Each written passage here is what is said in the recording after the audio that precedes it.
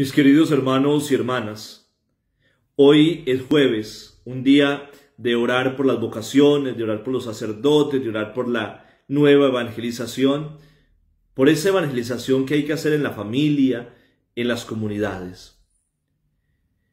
Y vamos a meditar precisamente ese evangelio que es muy vocacional, Juan 17, 20 al 26. Digamos juntos, Señor Jesús, yo te abro la puerta de mi corazón, de mi vida y te recibo como mi único Señor y Dios. Acepto tu voluntad, sea la que sea, con tal de que ella se cumpla en mí.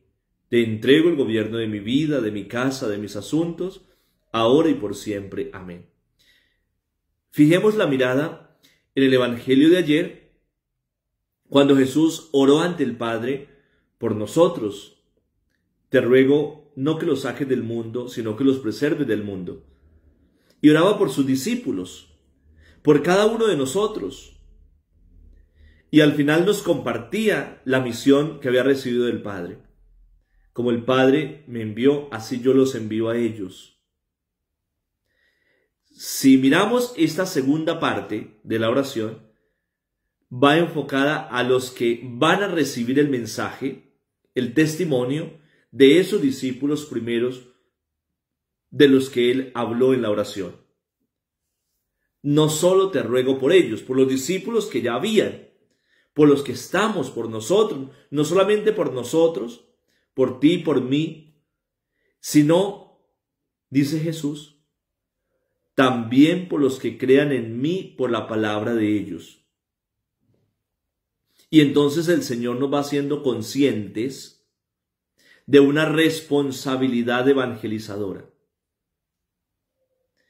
Últimamente he insistido en que si la iglesia es instrumento, sacramento universal de salvación, cada uno de nosotros tiene que convertirse en ese instrumento de bendición, de salvación para los hermanos. Pero tengo que ser consciente de ser eso, de trabajar por la salvación del otro, de testificar el nombre de Cristo para los otros, para que ellos crean porque Jesús ya está orando por ellos, por esos que van a creer, por el testimonio que demos nosotros, por la evangelización que demos nosotros. ¿Por qué razón? Porque el Señor no solamente quiere la unidad de nosotros como discípulos, sino que quiere la unidad de todos los creyentes. En una catequesis el martes, yo les insistí muchísimo en el respeto por la persona del que piensa diferente, en no maltratarnos, porque el Señor quiere la unidad entre nosotros. Porque es triste, es vergonzoso que los cristianos estemos divididos. Es un antitestimonio. Por eso, mis hermanos, hoy vuelve el Señor a llamarnos a trabajar por la unidad. El demonio hace estragos, divide familias, destruye hogares, destruye comunidades, daña parroquias. Pero el Señor quiere la unidad.